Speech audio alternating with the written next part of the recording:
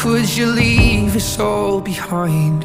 There's so much to say, but there's so little time So how do I say goodbye?